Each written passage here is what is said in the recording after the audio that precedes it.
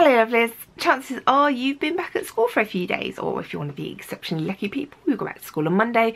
Or if you're an exceptionally unlucky person your school shut again because of coronavirus and back to online learning. Um, anyway, 2022 this year is the year of positivity. We are going to have a good year. Now i know it might seem a bit weird me saying we're going to have a good year considering we are in middle end of a pandemic. And um, we're back to twice weekly daily lateral flow testing. We're back to um, masks in classrooms. We're back to the, the threat of exams being cancelled. And centre assessed grades and every single assessment counting because it might be used. I know in all of that it's hard to find the positive but we're gonna do it together. Now I don't mean the kind of like the toxic positivity which says you're not allowed to be upset about everything because somewhere in the world somebody is starving and dying right at this moment so you can't be upset by the fact that you've got to wear a mask in the classroom. If something is upsetting you it's upsetting you and you are valid and allowed to be upset by whatever that is. So don't don't think oh somebody's got it worse you're not allowed to be upset. If you're upset you are allowed to be upset. But i'm going to try and highlight a few things which are going to prove hopefully that 2022 is going to be a brighter and better year for all of us. Basically, we're going to take everything and try and see the silver lining. So, I don't know if you've noticed in your part of the country, um, it's got really cold, like really cold. The positive things about this is that when twinkling in the sunlight, the branches look really pretty and they're freezing cold on the way to school. Isn't that nice? Um, it's January, so we've gone past the, the, the longest nights and days are getting longer. This is a good thing. Days are getting longer, it's going to get warmer, we're going into summer. We're heading towards summer, not towards winter, towards summer. This lovely time, my favourite time, is nice and warm. Days are longer, everyone's happier. More sunshine, more vitamin D, this is all a good thing. Now I know some of you may be kind of like, oh, hay fever, sunburn, don't like that longer, warmer days. Happy, happy times.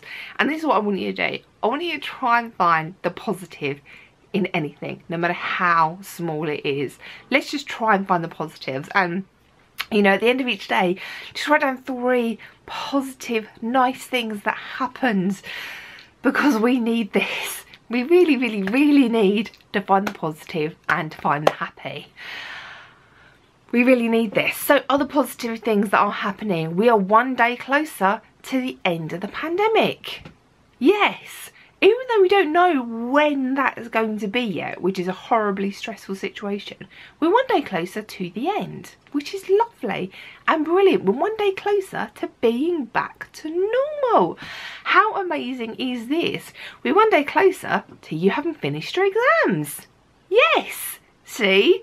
All of these positives, once you start, they just keep rolling.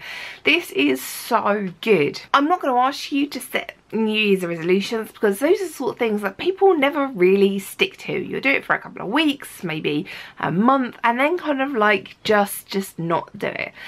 What I'm going to ask you to do, which is going to be good for your mental health, which is really what I'm all about, is just to try and see the positives in everything.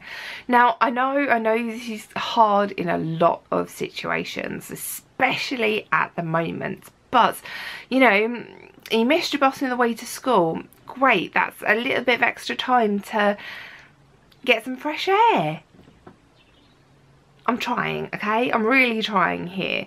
Um, I know this, these past years have been incredibly, incredibly tough and the stress and the ongoing not knowing of what is going to happen is really hard but let's try to make this year a really really positive one. Um because i do think exams are going to happen. Um i do think school's going to be running pretty much as normal and i do think we are on our way out of this. So um let's just try and do this together positively. Ouch